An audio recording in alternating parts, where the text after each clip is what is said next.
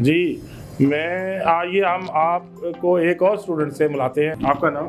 अक्सा एजाज मेरा नेम है। अच्छा और तो- मैं भी एक्टिमा कॉलेज की स्टूडेंट हूँ। ठीक है। तो आप बताएँ अपनी ये एटमो के बारे में चीज़ों में जो आप सीख रही हैं। अल्हम्दुलिल्लाह मेरा भी फ़र्स्ट सेमेस्टर स्टार्ट है यहाँ पे तो मतलब बहुत अच्छा कॉलेज है। स्टाफ भी बहुत अच्छा है। और काम के रिलेटेड भी बहुत अच्छा है। टेक्सटाइल के दो बहुत बड़े प्रोजेक्ट्स किए हैं। First tie and dye and silk painting tie and dye में हमने अपना एक ड्रेस तैयार किया और मतलब कर्टन्स वगैरह इस तरह। और सिल्क पेंटिंग में हमने कुछ पेंट वॉल हैंगिंग पेंटिंग की है। इसके अलावा यही हमारा सबसे मेन प्रोजेक्ट है जो हमने इस अब तक किए और कोई इसके अलावा वो भी आपने?